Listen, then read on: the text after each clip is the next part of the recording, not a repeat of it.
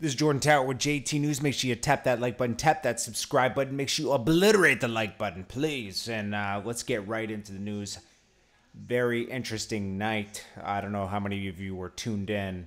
Uh, we will get to the Minneapolis thing in a second. Uh, discuss that because wow.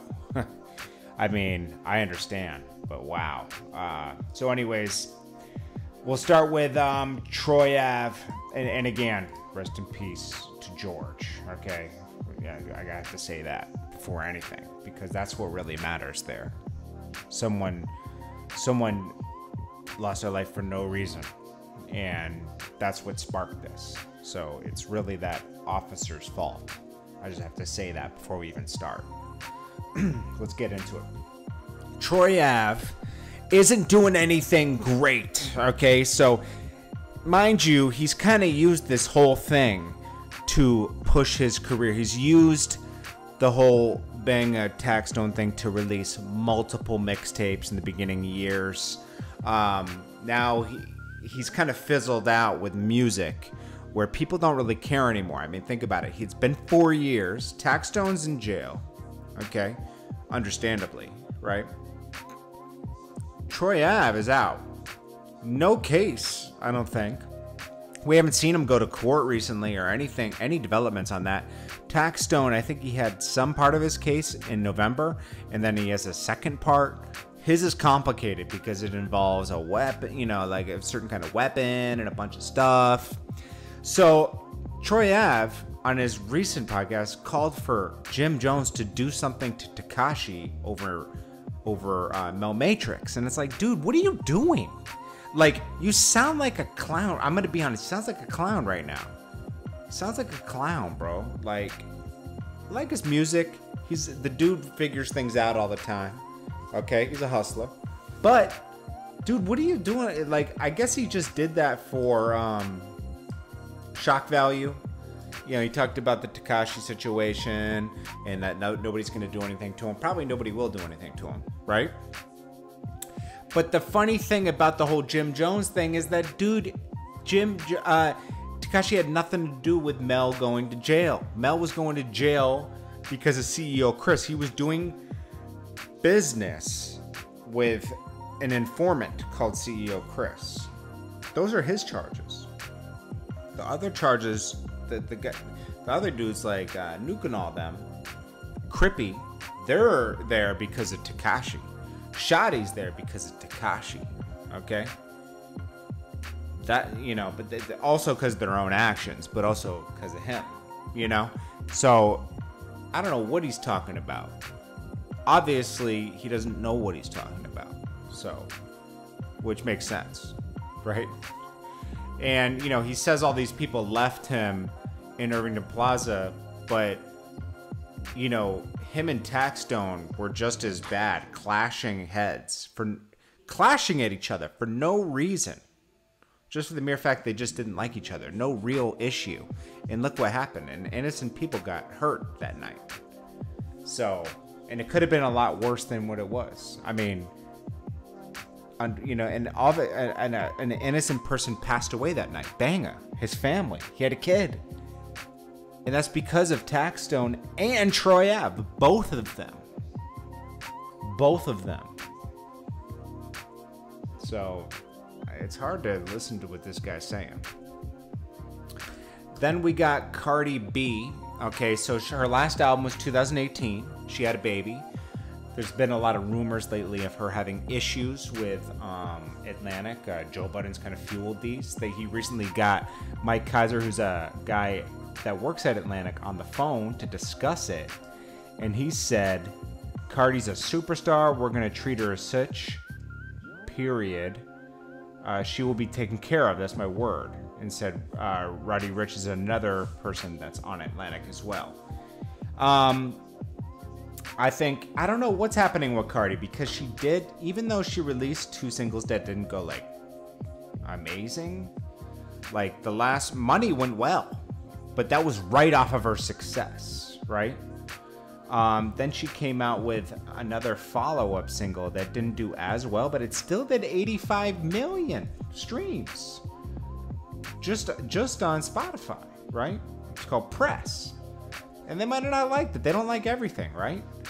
But Invasion of Privacy, the album did really well. Uh, Money, which was released the same year, did really well. She didn't let up. And then Press last year was the only thing that she released from her, you know, from her by herself. Um, and it didn't do so well. But that wouldn't be enough for the, the building not to back her anymore. Um, and she stays stays relevant. So there's no reason for the building to not be behind her. So I think we'll be seeing an album from her very shortly. Uh. Then let's talk about this. So George, he lost his his life for no reason. I mean, they uh, they pulled him over, they put him in cuffs, and then they, you know, we, we saw what happened. You know, nasty. Uh, so George Floyd, he passed away. People took to protesting, as they should. They went to the police stations, as they should. They went to the cop's house, as they should. Okay. Unf- the cops got fired, and then yesterday, um, the mayor also called for their arrest. But I think it takes the district attorney or something to file something like that. And that didn't happen. And it should have. Then the president tweeted out that the FBI will be looking into it. Um, but obviously not enough action. And what do you think's gonna happen? Then then other groups get involved. Um, a lot of people flew to Minnesota. And I would I would bet that this is kind of like the whole incident that happened during the Mike Brown situation, where a lot of people come from out of town and and start destroying the city. And they start they start it up. They start the looting. They start, you know, businesses, people losing their businesses. I can understand the cop cars.